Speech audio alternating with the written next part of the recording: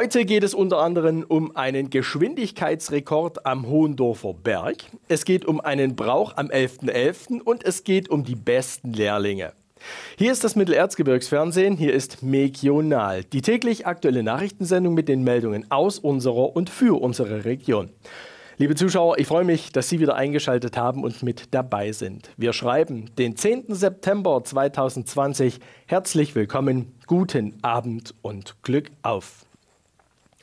Eigentlich wäre am vergangenen Samstag die Ausbildungsmesse gewesen, aber wie fast alles ist auch diese wichtige Veranstaltung für Jugendliche dem Coronavirus zum Opfer gefallen. Umso mehr freut es uns, Ihnen auch gute Nachrichten zum Thema Berufsausbildung überbringen zu können. Nicole Fugmann-Müller und Fabienne Kröhr waren bei der Ehrung der besten Lehrlinge gestern im Federnwerk Marienberg, also bei Scherdel, mit dabei. Zwei von Sachsens besten Auszubildenden kommen in diesem Jahr aus einem Marienberger Unternehmen. Am Montag wurden die Kauffrau für Büromanagement Elisabeth Buschbeck und Werkzeugmechaniker Simon Schäffler in ihrem Betrieb der Scherdel Marienberg GmbH geehrt. Vorgenommen wurde die Auszeichnung durch Matthias Matz vom Unternehmerverband Sachsen-Metall. Erstmal bin ich sehr froh, dass wir das, was wir eigentlich jedes Jahr sonst machen, auch die besten Ausbildungsbetriebe und die besten Azubis zu prämieren, dass wir das heute hier auch im Marienberg machen können. Wir haben uns natürlich den Gegebenheiten angepasst. Normalerweise ist das eine zentrale Preisverleihung. Das äh, geht in diesen Zeiten nicht, aber umso mehr freuen wir uns, dass wir das vor Ort in den Unternehmen tun können, weil ja auch das eine Wertschätzung gegenüber den Azubis ist, die ja hier auch, wenn das neue Ausbildungsjahr schon wieder losgegangen ist, ja nichtsdestotrotz diese Leistung erbracht haben. Und die beiden heute auch Prämierten gehören mit zu den Besten in Sachsen. Und da freuen wir uns umso mehr, dass wir das auch heute hier auch endlich auch äh, vornehmen können. Auch Ihnen, Herr Schäfer, alles Gute. Äh, weiterhin viel Erfolg, viel Freude bei der Arbeit. Äh, auch Ihnen eine Urkunde. Sie gehören mit zu den Besten in Sachsen und das ist für uns preiswürdig. Herzlichen Glückwunsch. Alles Gute Ihnen, ja? ja. Ich schließe mich an. Dankeschön für die Leistung. Auch da in die Zukunft hinein auf die Straße bringen und das Niveau halten. in Ordnung. Danke. Ihnen weiterhin hier auch im Unternehmen. Äh, viel Freude bei der Arbeit. Wir freuen uns aber wirklich, Sie gehören mit zu den Besten in Sachsen. Und da darf ich Ihnen erstmal jetzt die Urkunde überreichen dazu. Danke. Und Herr Bartrat. Tolle Leistung und äh, danke dafür und für die Zukunft wünschen wir, dass wir diese Leistung auf die Straße bringen. Ne? Was hat Sie motiviert, sich so anzustrengen in Ihrer Ausbildung, dass Sie letztendlich für diesen Preis nominiert wurden bzw. diesen Preis erhalten haben? Ah, ich glaube einfach meine Familie. Also ich habe jetzt inzwischen schon zwei Kinder und ja, für die möchte man halt gerne später mal gutes Vorbild sein. Mhm, ja, ich muss sagen, also ich war in der Schule immer relativ gut und also gerade Berufsschule ist mir relativ leicht gefallen und die Arbeit hat halt Spaß gemacht. Also warum sich nicht anstrengen? Das würde ich sagen, das ist der Hauptgrund. Welchen Stellenwert hat die Ausbildung für Ihr Unternehmen?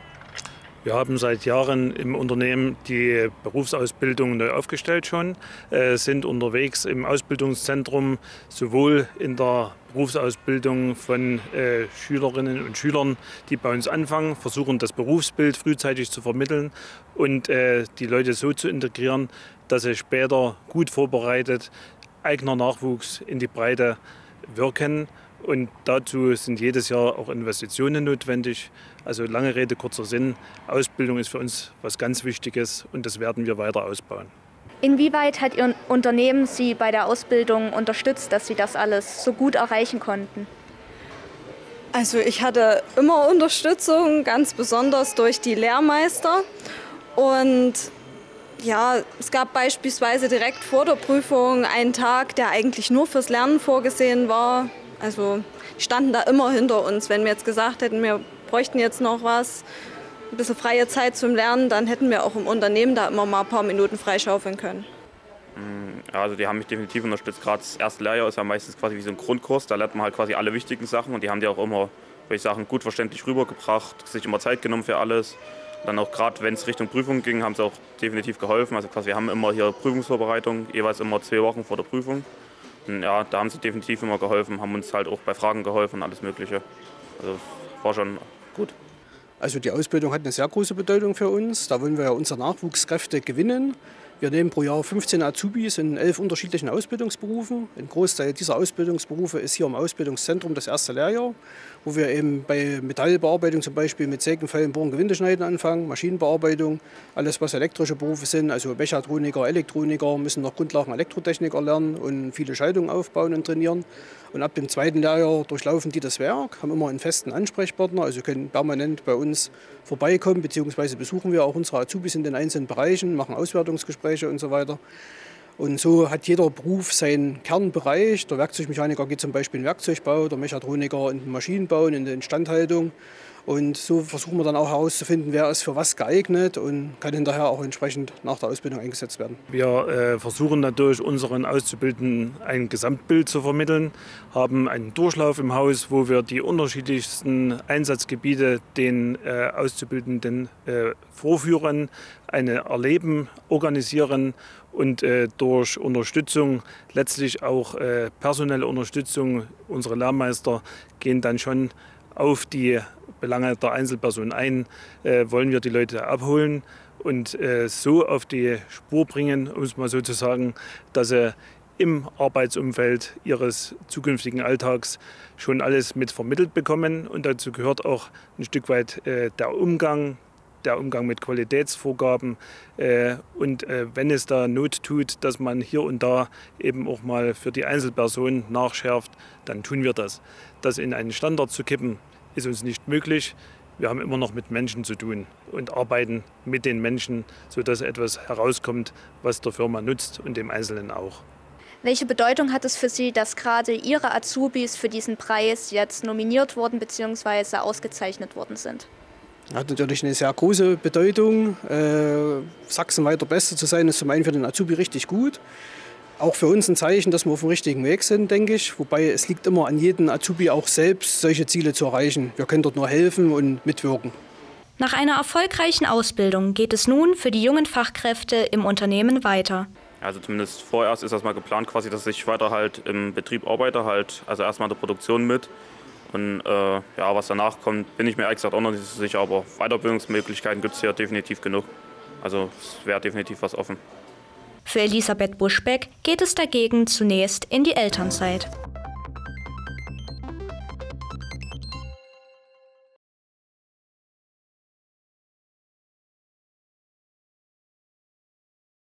Morgen ist es dann soweit. Morgen ist der 11.11. .11. und damit geht es rein in die fünfte Jahreszeit und es gibt die Martinsgans. Wir hatten ja Ihnen in der vergangenen Woche ein tolles Rezept aus Sebastian Eberleins Erzgebirgsküche gezeigt. Ja, darüber hinaus gibt es noch einen Brauch am 11.11., .11., an dem gerne festgehalten wird. Fabienne Kröhr weiß, welcher das ist. Morgen ist es wieder soweit. Es ist Martinstag. Das jedes Jahr am 11. November stattfindende Fest ist uns vor allem für seine Laternenumzüge mit Gesängen und die Martinsgänse bekannt. Doch was genau hat es mit diesen Bräuchen auf sich? Bereits letzte Woche haben wir von der Entstehung des Martinsgansbrauches berichtet. Heute soll es um die wohl bekannteste Martinstag-Tradition gehen, dem deutschlandweit verbreiteten Laternenumzug. Dieser beruht auf unterschiedlichen Überlieferungen. So ist eine davon, dass der Leichnam des heiligen Martins in einer großen Lichterprozession nach Tours überführt worden sein soll. Als Erinnerung daran wurden später am Gedenktag Lichter und Laternen angezündet. Eine weitere Erklärung für diesen Brauch bezieht sich auf das Evangelium vom Licht unter dem Scheffel, welches besagt, dass der Glaube nicht versteckt, sondern wie ein helles Licht in die Welt getragen werden soll. Die Laternenumzüge fanden ursprünglich mit Fackeln statt. Im Laufe des 19. Jahrhunderts wurden stattdessen aus Kürbissen und Rüben geschnitzte Laternen verwendet, bis später die uns heute bekannten Papierlampions benutzt wurden. Während des gesamten Laternenumzugs werden sogenannte Martinslieder wie beispielsweise Ich gehe mit meiner Laterne gesungen. Vor dem Hintergrund der aktuellen Situation sind diese Umzüge im großen Ausmaß zwar nicht möglich, dies soll jedoch nicht heißen, dass man nicht auch trotzdem Lampions basteln, im kleinen Kreis mit seiner Familie spazieren gehen und dabei Lieder singen kann. Wir freuen uns über Fotos und Videos von euren Laternen. Also, liebe Zuschauer, nochmal der Aufruf, wenn Sie Laternen gebastelt haben oder Sie mit Laternen unterwegs sind, dann einfach ein Foto machen und an uns senden. Und das ist denkbar einfach, entweder gleich per WhatsApp oder per Mail. Den Kontakt sehen Sie hier eingeblendet. Ja, im Serviceblog erwartet Sie nun unter anderem das Regionalwetter. Es gibt eine Waldwegsperrung und einen Blick in die Polizeimeldungen werfen wir ebenfalls. Aber als erstes kommen unsere Experten in Sachen Verbraucherschutz, um Sie auf Produkte aufmerksam zu machen, von denen Sie besser die Finger lassen sollten.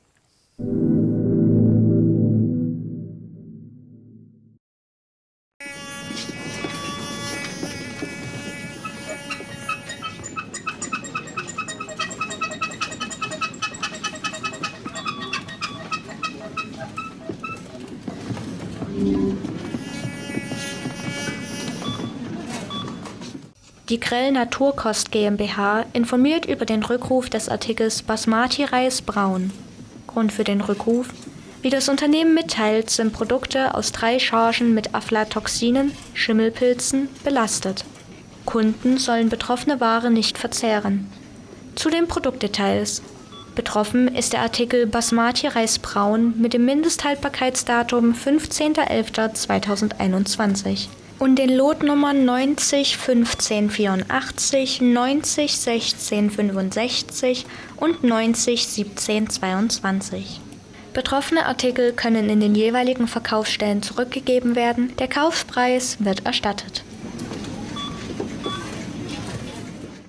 Wie aus der Touristinfo in Seifen zu erfahren war, wird der Sachsenweg von Hirschberg bis zum Dreierweg voraussichtlich bis Jahresende wegen Holzeinschlags voll gesperrt. Ja, verkehrsmäßig lief es für einige Fahrzeugführer am vergangenen Sonntag alles andere als gut. Hier sind die Polizeimeldungen.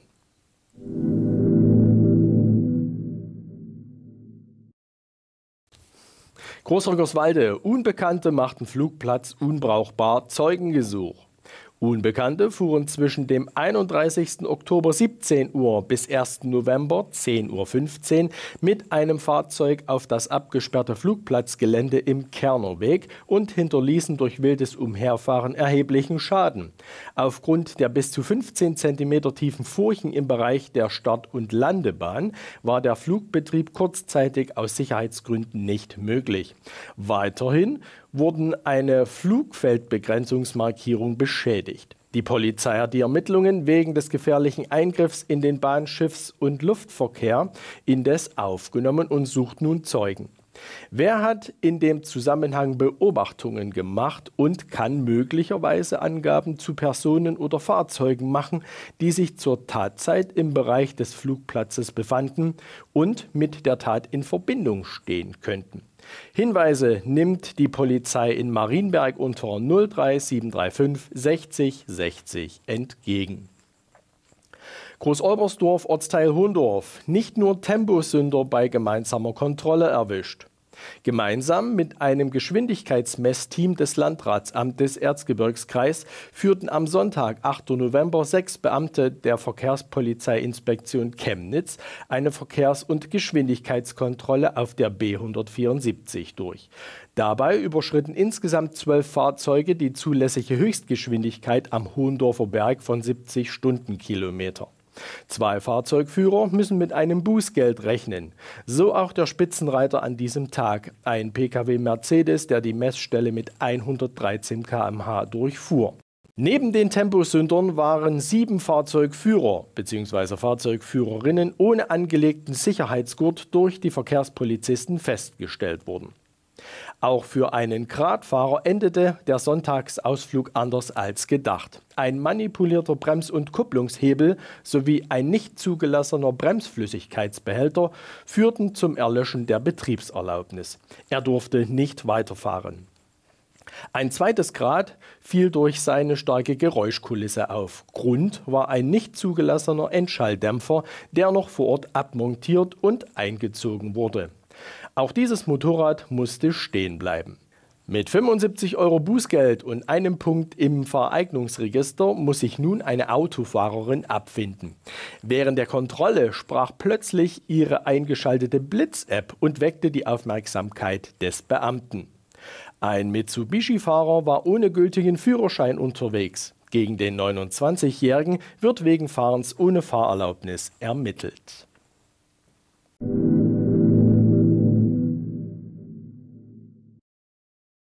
Gestern Abend gab es nochmal eine großartige Chance, tolle Aufnahmen vom Sonnenuntergang zu machen. Ich möchte Ihnen diese Aufnahmen hier mal zeigen.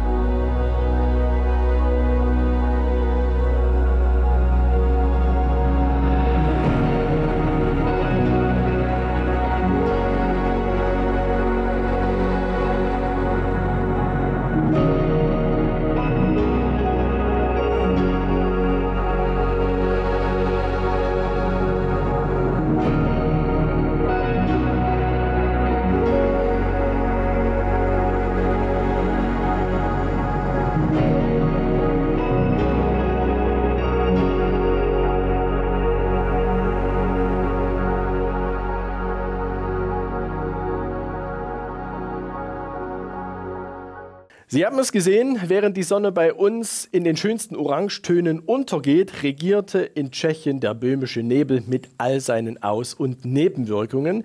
Und davon konnten die Bewohner rund um Seifen wieder ein Lied singen. Es lag wieder was in der Luft. Kopfschmerzen und Übelkeit waren und sind da Begleiterscheinungen. Besser wird es dann erst, wenn der Wind etwas dreht.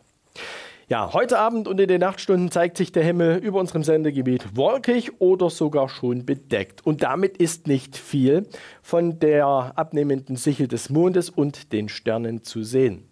Trotz des Wolkenaufgebotes wird es trocken bleiben. Das Regenrisiko trägt die Null.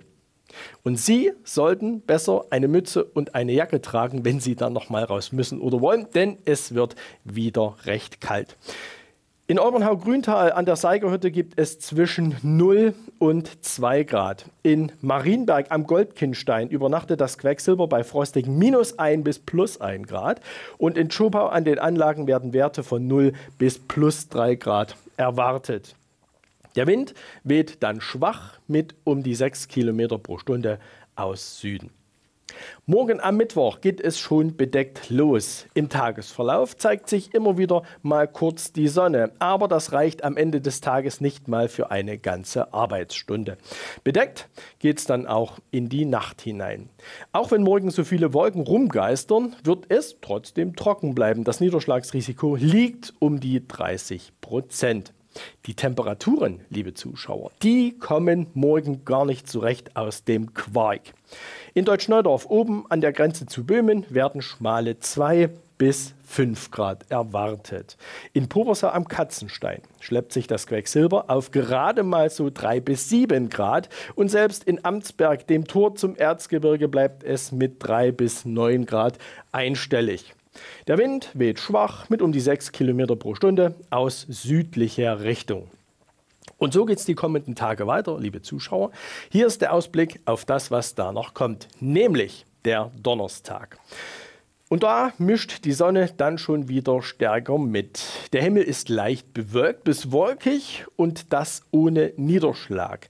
Mit 3 bis 10 Grad werden die bisherigen Wochenhöchstwerte erreicht. Der Wind weht leicht aus Süden. Der Freitag setzt dann in puncto Temperaturen noch eins drauf.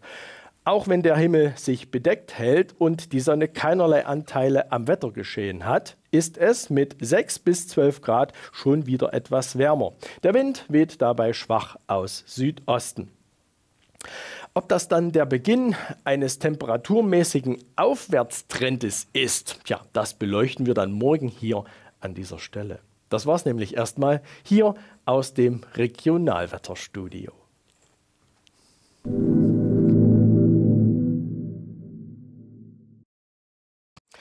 Das war es dann auch vom Dienstagsregional und das bedeutet, dass wir auch schon wieder am Ende der heutigen Ausgabe von unseren Nachrichten angekommen sind.